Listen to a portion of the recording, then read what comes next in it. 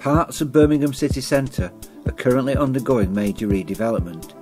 To assist with this redevelopment, Murphy's surveys have been commissioned by St Joseph's property developers to carry out an underground survey of the main sewers and drains that lay beneath the site. Entry to the sewer was located in a grass verge and the exit was found 450 metres away in the middle of a construction site. Both locations required signs to be in place in accordance with Chapter 8 of the Street Works Manual.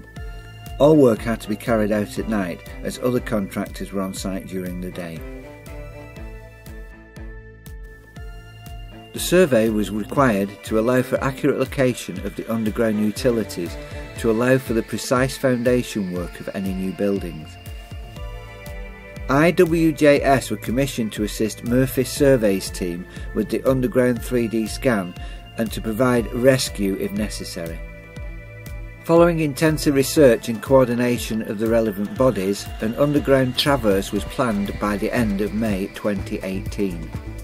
A meeting of all contractors was arranged before commencement of the work to go through the risk assessments and method statements.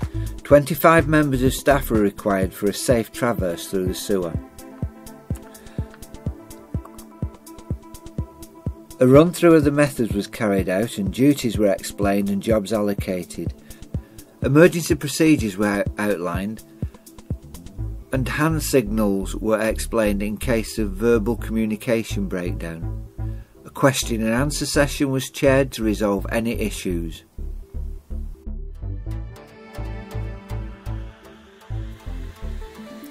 Following the meeting, the teams then went out to site to set up and prepare for the underground traverse.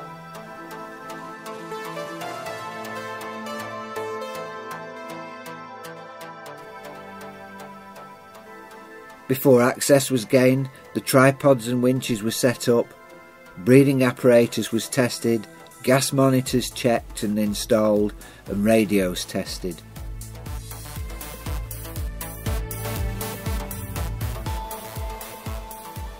A site specific risk assessment was written up and explained and signed for on the night.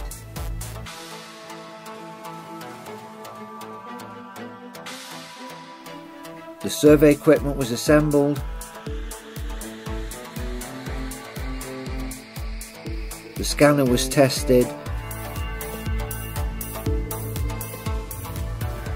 and an initial scan produced. Final adjustments were made to the gas monitors and cameras. The manhole cover was removed and the first men lowered into place.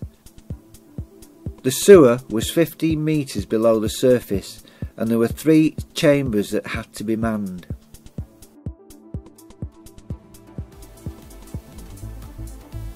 Gas monitors were checked and the survey team entered the sewer.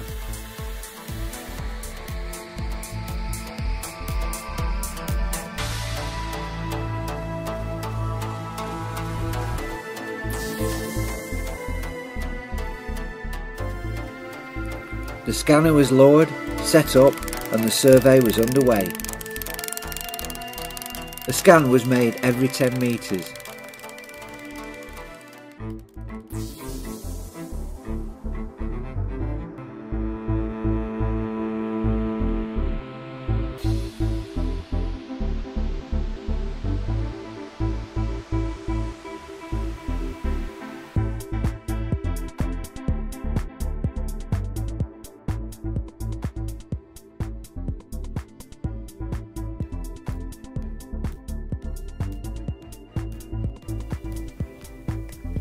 After 200 metres were completed, the team at the other end entered the sewer to meet the survey team and to accompany them for the final stretch.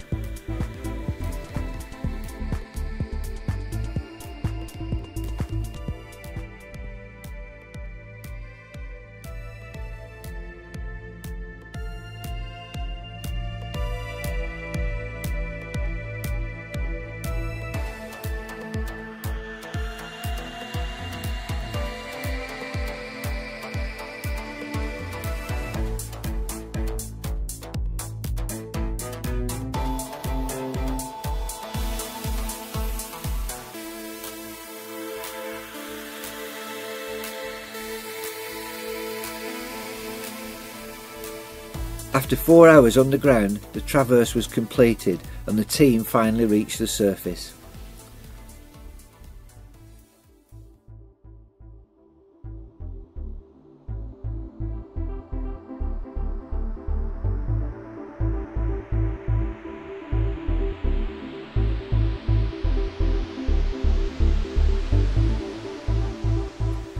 Equipment was removed and packed away.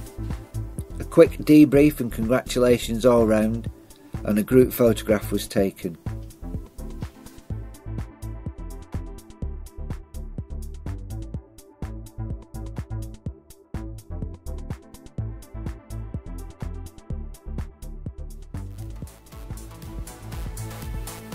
The scans were then checked